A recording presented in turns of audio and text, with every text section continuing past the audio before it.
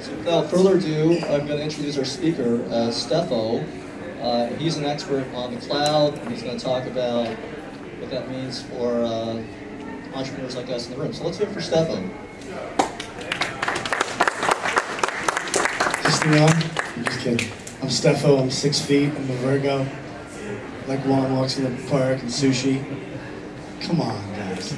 Um, can we do a Christmas carol? No? No, okay, just kidding. Come on, James. Uh, my name is Steffo Mitakides. I'm with a company called Cloud Strategies. Our website is here. There's about 20 of us at Cloud Strategies. We focus entirely on the cloud. That means there's nothing on premise at our headquarters in uh, New Jersey except for a router, to be frank. In our IT closet, we hang coats. Essentially, we are in the business of helping you take your on-premise data, especially around mail and collaboration, to Office 365. How many people are have used Exchange in a business environment before? Most everybody. Who has used Google Mail, Gmail, in a business environment? And how many people are still using Google for their corporate email? Awesome. These are the people I really want to talk to, uh, talk with now. Yes, James. So James managed servers, so he knows how what a pain in the backside managing servers is. Um, so thank you for coming. Anyway, I was at Microsoft for seven years. I focused entirely on services. Many of us at Cloud Strategies, about half of us came from Microsoft. We saw the potential for cloud computing. Really and truly, I mean, I, uh, back in the day, I, when I was uh, an account manager for Microsoft in New York, I looked after a lot of large companies. And one of the things I loved about cloud and Office 365 is it, it brought some enterprise uh, grade applications and services to smaller businesses that typically were were financially, sort of precluded them from getting into things like SharePoint and Exchange just due to price point. So with Office 365, one of the things, and I'll show you how much things cost, give you some of the different options that you have, what you'll see is it lets small, medium businesses have all of the tools and applications that the big guys have, but with a simple subscription price, a login and password. So the whole idea, I think, behind cloud computing essentially is you manage your business. You work on your core business. Let Microsoft handle your email and collaboration. And when I say collaboration, who knows what I'm really meaning behind collaboration? Anyone know what I mean? So basically working with all your ecosystem, all your vendors, uh, customers, Right. What, what Microsoft tool do you think I'm talking about when I say collaboration? Yes, exactly. So, to give you an idea, just broad strokes, Office 365. How many people have heard of Office 365? Awesome. Office 365 is really a brand from Microsoft. Underneath that brand lies uh, Exchange Online, which I'll show you mine, SharePoint Online, which I'll show you mine. Um, there's Lync Online, which is instant messaging, presence, and web conferencing. And now there's also Office Online. Great way for small businesses to get all of the tools at a really great price. So I have my business cards up here. What, what I'll leave you with today, just to give you an idea, is a free trial of the service. So if you're using Gmail and say, hey, I love it, I'll, I'd like to take you on, let you, let you see Office 365 Exchange online, and let you make a decision on whether you like it better or not. Okay? Sound fair? Let's get into it.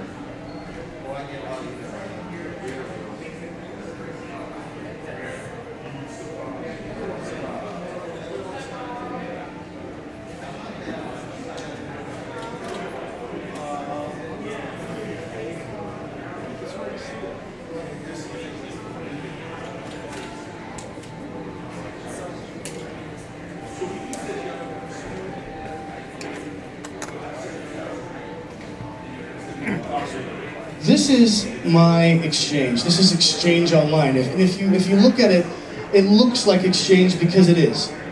One of the things that Microsoft has done really well in Exchange Online 2010 is to have feature parity with the on-premise version. A very key point. Nobody wants to use Exchange Lite, not unless they're using maybe a web browser, and even then they don't want to use that. So this is my Exchange. This is how I use it. If it looks a lot like Exchange, it's because it is. And it's hosted at Microsoft data centers. Really and truly one of the benefits if you're thinking about how do I cost justify going to the cloud, I would say if you're, if you're using, say, Exchange 2007 or, gosh forbid, 2003, this is a great way to get to 2010 without having to spend the money on hardware and software. And 64-bit hardware is not cheap. Um, a great way to keep up uh, and have the latest and greatest. But what we're finding companies of all sizes, they're saying, hey, I've got three IT people, I've got one IT person, they're overworked. What do I do? And we say, let us handle your exchange, let us handle your mail, re, re, uh, reassign that person, give them stuff that's more proactive than reactive than handling mail and issues with mail. Patches and updates and all that good stuff. Microsoft handles. So, as you can see here, you have all of the great tools, all the great enterprise tools that you might take for granted, frankly, because you use it every day, all day. So whether it's contacts or calendaring, um, all of these things are in Exchange Online. So all the things here on the left that you like so much are still in Exchange Online. Now, the Exchange Online mailbox through Office 365, does anyone know how much it costs per mailbox? Any ideas? It's $4 per user per month. So you know the math. If, if you're a company of five, it's $20 per, you, uh, per company for your company for the month. That's not Exchange Lite. That's a 25 gig mailbox. It has Forefront security, anti-spam, antivirus. So it's a great way to get started if, if you've got people all over the map, um, geographically dispersed. It's a great way to have everybody on the same platform um, for a very minimal cost. There is no extra fee. There's no startup fee. What my company does, if you have a lot of data, if you have more than five users, let's say, you might need help moving that data, migration of that data. We're experts at using the tools that help facilitate that. We use tools from MigrationWiz, from Binary Tree. I'm not sure if you've heard of these companies, but we are experts at, at, at migrating data from your on-premise or hosted Exchange right now, or hosted email, to Exchange Online. So, like I said, I mean, this is mine, this is how I use it. I use it every day, all day. To me, it's the most important collaboration tool that I use. Um, and uh, like I said, it looks and feels just like what you're used to. One of the things that, that I like to, to kind of talk a little bit about is how it compares to Gmail, because in fairness, we're in their backyard, Google's, okay? And um, I think they did a pretty good job coming out with Gmail and making it quick kind of to cloud computing. And in fact, Microsoft has really done a great job of taking their on-premise service to the cloud. Some of the things I just don't really care for personally in Gmail, I like the price point. It's free, okay? Not crazy about using it for an enterprise. And primarily because of security and privacy. I think they lack in those two things. If you go onto Gmail, for example, and you say to your buddy, hey James, uh, let's go to Belize this summer, and you say, great, and the next time I turn on my machine and there's a banner ad for Belize, I'm not really cool with that in my email. So I think that Microsoft does a lot better job with, with, with security, with privacy, and, um, and I think it just has a lot more features and functionality. Things, things like being able to view people's calendars. Certainly it's hard to sort of herd cats when you're trying to set a meeting up. It's a lot harder when you don't have visibility into the people that want to invite's calendar. Microsoft Office 365 will integrate calendars so that you're able to see people's calendars. Let me show you a little bit of what I mean. Actually, is Sam here still? Mr. Sam left? All right, cool. Where's Sam? This could be the uh, Christmas Carol time. Anyway, um, let me show you my calendar here. I understand that.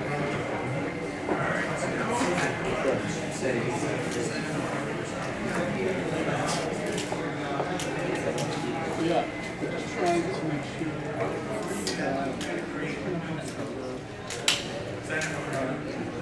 I'd like to go here and go back. Or do me a favor first, go to calendar. Oh, I see what you're saying.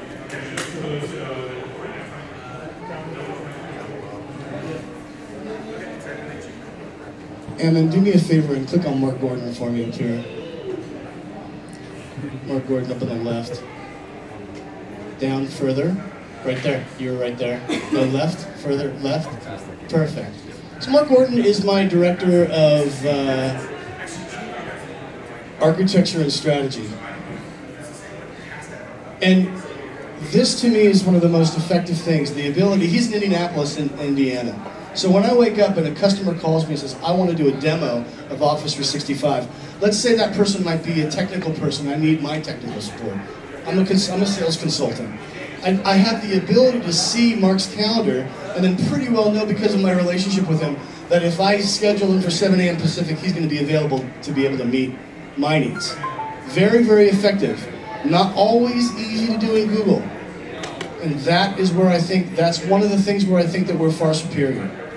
So I think that sometimes there's, there's price and cost, and price and value. I think Microsoft has tremendous value at $4 per user per month.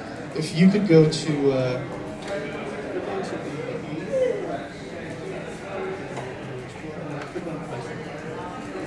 As I told you, uh, Office 365 really is a brand. Underneath that brand, you've got your pillars of, of mail and collaboration. You have Exchange Online, SharePoint Online, Lync Online, and Office. Okay? Microsoft, I think historically, and I earned the right since I worked there nearly seven years, to say they always, they, they've not always made licensing easy for end users. I think we all can kind of shake our head and nod that it's not always been easy to, to license Microsoft services. I think with Office 365, they made it very, very flexible, and you can get started with as much or as little as you'd like. So they have um, hosted mail, a la carte, as I like to say. If you just want to start cloud computing with email, $4 per user per month, these are all the services that you get with it. it like I said, it's not email light. It's the full-blown email exchange. I'm going to skip the small business. The small business is pretty good if you'll never grow over 50 people. If your company will never grow over 50 people, 49 is the limit. Um, this small business plan one is pretty good for you. You're able to get um, a few of the services. The only challenge with this particular offering is you do not get 24 by 7 IT support. Kind of critical when you're talking about mail and different time zones. Also, um, like I said, you cannot scale past 49. These are the things, though, that I think are super, super cool. Microsoft very famous for bundling. So they'll take a few things, they'll put them together in a bundle, and then they'll charge less than if you added each of them up individually and added them up all together. So for example, if you are looking to do um, email and you want to do SharePoint and collaboration, and uh, we'll talk a little bit further uh, on that one when I uh, show you mine. But if you want, say, an intranet or a, or a document repository, that kind of collaborative portal, that's what SharePoint is and more.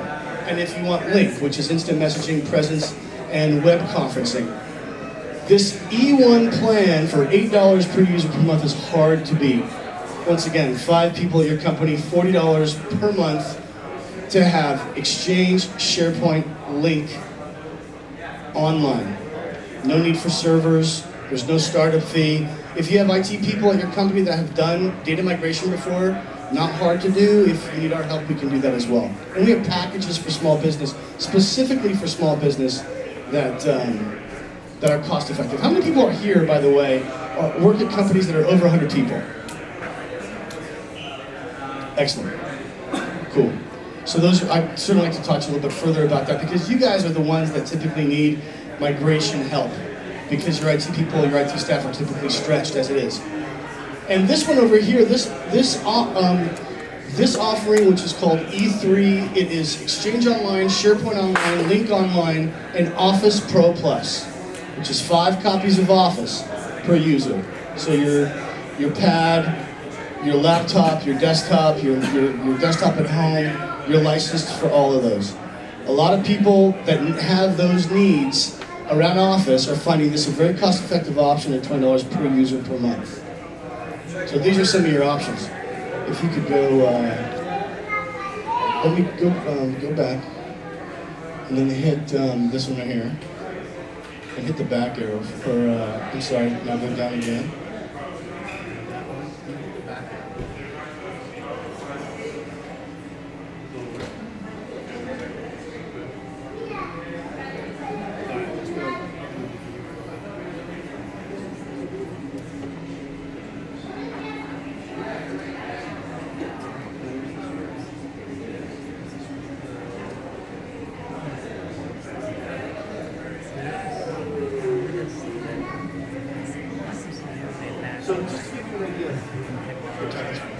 So just to give you an idea how to get into Office 365, it's web-based. So go, you go to portal.microsoftonline.com. It's already there. Microsoft Online. It's, there's no dot. That's it. It's already there. Perfect. And go to go down to SharePoint Home. Uh, the third. No, no, no. I'm sorry. Visit SharePoint Home right here, sir. Perfect. This is how my company Cloud Strategies uses SharePoint Online as soon as it comes up. This is our custom SharePoint Online site. So when we talked about what does collaboration really mean at Microsoft, it means SharePoint essentially, in many cases, okay? SharePoint gives you the ability to have an intranet. On an intranet, it's a great way, how many people have public folders and use the heck out of public folders? This is a great place to hang data that you would typically have in public folders if you were to move to Office 365, considering that Microsoft doesn't support public folders in Office 365. that was a nice way for me to say they don't support public folders. Nonetheless, we are consultants. We work in contracts all day, every day, and we're geographically dispersed. So my technical hub, Indianapolis, Indiana, my boss is in Chicago, Illinois, and my headquarters is in Cedar Knolls, New Jersey. But somehow, SharePoint brings us all on the same page whenever we want to be. So for example, if I want to click on the ProQuest um, statement of work, I click on the statement of work, it lets me either read or edit depending on the provisions that I got, okay? And then the document opens up. the document, my boss Warren Wolf in Chicago can be working on this document along with me in San Jose, California, as if he's looking over my shoulder in the same conference room. But in real time and in his comfort zone in his home office. So we don't miss a beat considering that we're thousands of miles away. We're able to collaborate, we're able to um, edit, co-edit, co-author documents right there in our SharePoint portal. Other uses of SharePoint, just for, to give you an idea, very rudimentary uh, options when it comes to SharePoint. Human resources likes to leave, they like to hang, say for example, new hire documentation in SharePoint. If you have a form for um, time off, if you have a form for vacation, if you have a if you have a form for expenses, people put it on SharePoint, you fill it out, you send it in. So that's what SharePoint is. How many people have an intranet at their company that you can only typically see on the inside? Okay? This would be a great way to do this. If you have SharePoint online, I'd love to talk to you afterwards, or if you have SharePoint on-premise, excuse me, I'd love to talk to you after this and tell you how you can migrate that data from on-prem to online. If you have a ton of customization on your SharePoint on-premise, then maybe online isn't the right option for you. This is a great way for small and medium businesses, however, talking about what we what, what I what I brought up very early on in this presentation, it was was sort of my motivation to come to Cloud Strategies and work for a consultant on a large company like Microsoft, is it gave people like you the ability to use these services with just a simple subscription. So no need to have a person that manages it full time, no need to pick up the servers and the software. It's just a simple license, like I showed you the different licensing options. So SharePoint Online, a great collaborative portal. Anybody have any questions about SharePoint Online? Yes, sir.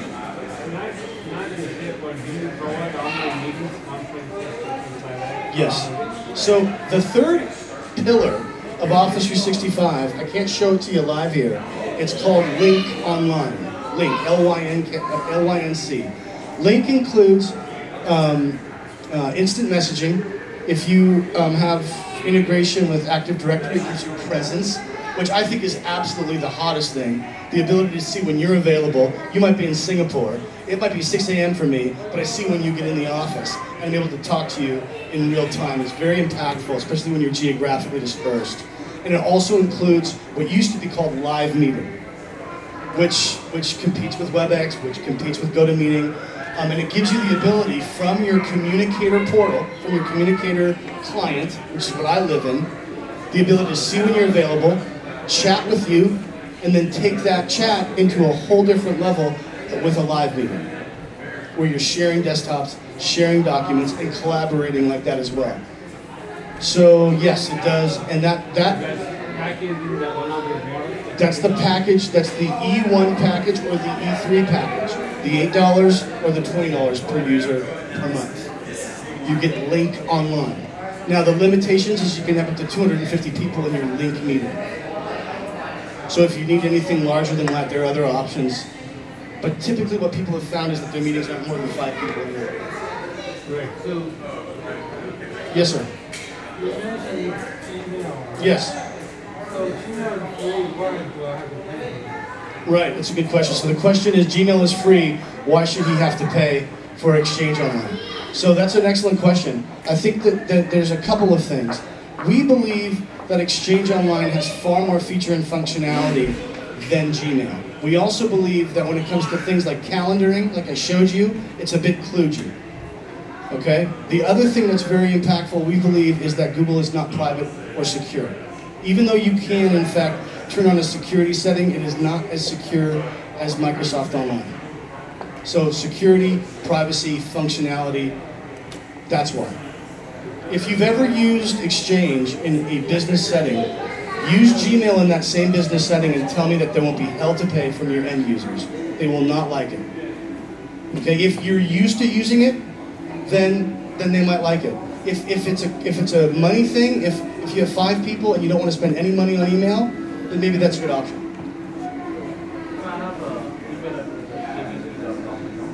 Yes. It will be your URL.com. Yeah, what it does is we just redirect the we redirect the MX record to Microsoft.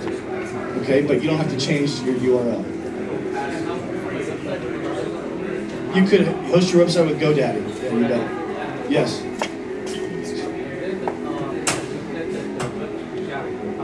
Yes. Yes. No. No, they need to have the client though.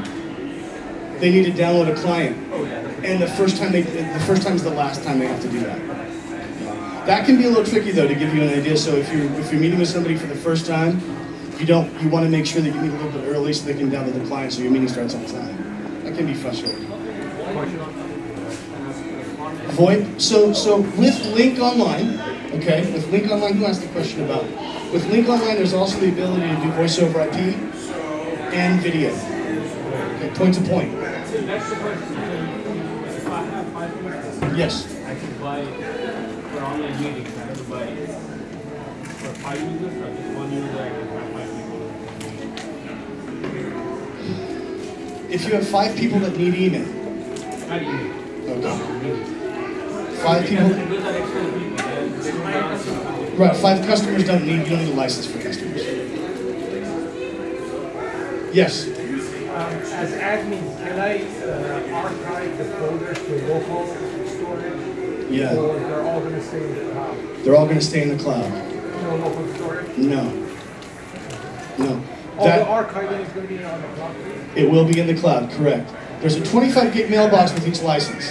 A lot of people think that that's enough and kind of like an archive. Then there's also archiving for things like compliance and for um, uh, what's the word I'm looking for? Um, e-discovery. Thank you very much, James. So those types of things, Microsoft has a slightly different license. It's eight dollars per user per month. It has an unlimited archive.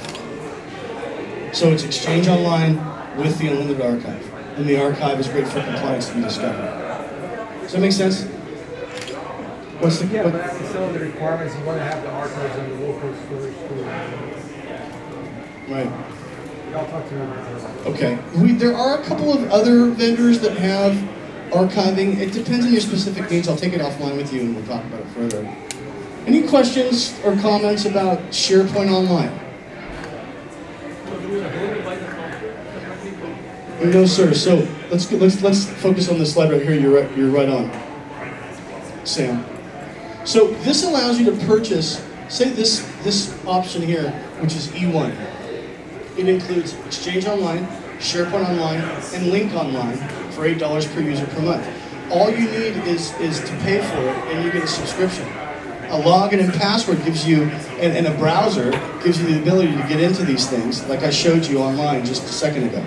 So no need for hardware, no need to buy individual software. This is just a gift that Sam is personally giving away at the end of this, if you need a new copy of Office.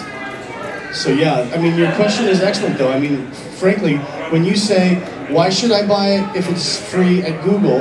That's a great question. I think that the answer is that it's a far better email platform, a far better. People don't necessarily like Google Apps, and they love SharePoint. We'll help you make SharePoint easy. Google Apps is a, is a bear. Questions? Awesome.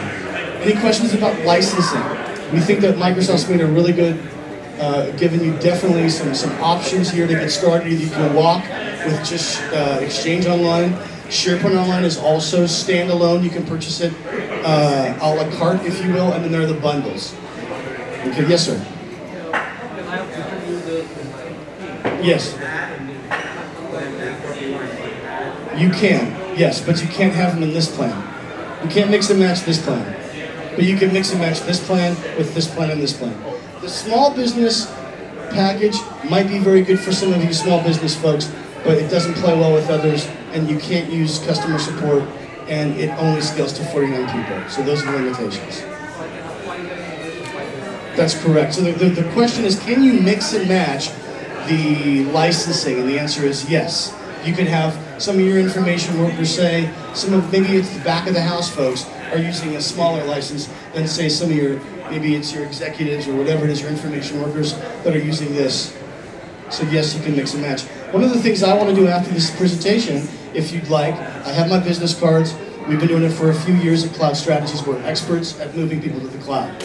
We've done over 300 deployments. We're a Microsoft Gold Certified partner, and we're a go-to partner here in the Bay Area. And I'm your local guy. And we've done this a whole bunch. We know the obstacles, the gotchas, all of those things in migrating mail and data. And so we'd be happy to help you. Another great thing that Microsoft does is they offer a free trial. So that's what I want to leave you with. I, it's holiday time, I want to give you something. And what I'm going to give you is a link to try Exchange or to try Office 365. It includes 25 licenses. It includes all three of the services, Exchange, SharePoint, and Lync. Um, and it's a 30-day trial. There's no obligation. You don't put your credit card in. There's nothing like that. So my feeling is, try it. If you've used Google, please try it. And then tell me if I'm right. Tell me if it's better. If you like the experience, consider it. If you don't, you're not paying for Google anyway. I'm sorry? 30 day trial for free, yeah. So if you want to do the trial, come to me. I'm happy to send you a link for that tonight. Yes, sir. Uh, the interface is going to be IE or is it going to be Cross platform. So you can use Chrome and you can use or Firefox and Safari and all that. Yeah, we have to play well with others. We know there are Mac users, a lot of creative types.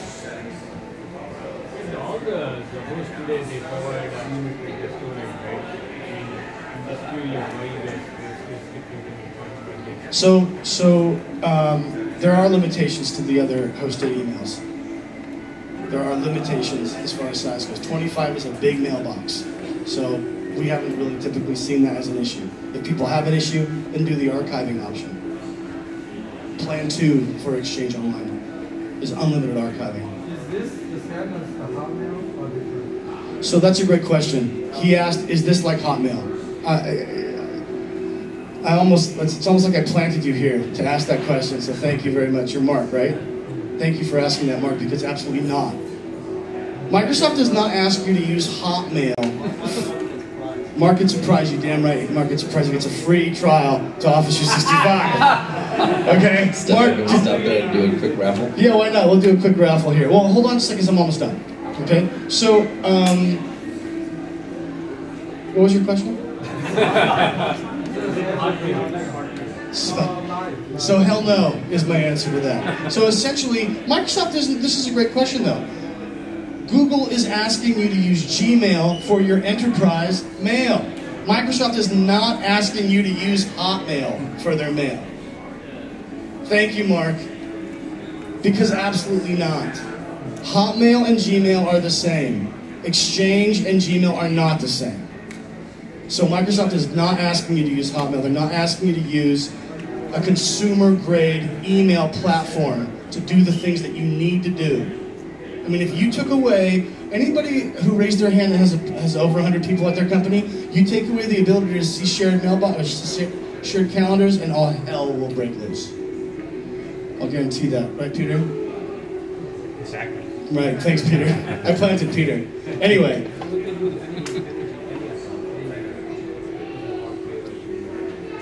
you can tran you can you can migrate any mail to Office 365. Correct. What Cloud Strategies can help you do is actually migrate them. They'll give you strategy, give you the tools. Actually, do that if you don't have an IT department. If you have five people, we're going to help you do it yourself. If you have 50 people, we're going to tell you why you should have professionals do it.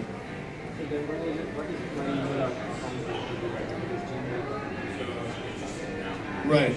So it's going to be whatever the name of your company is. It's going to be robdeep at cisco.com. Do you work at Cisco? No, I didn't think so. Um, awesome. Okay, so I'm done. Thank you so much for sticking around. Happy holidays. If you want to see the free trial and do that, come and see me. I'm happy to do. I'm happy to help you get that free trial. Um, if you have questions, corner me in the corner here. I can't get out. And um, we're going to give a raffle away. Thank you for your attention. Happy holidays. And uh, I hope to see you on Office 365. Thanks a lot.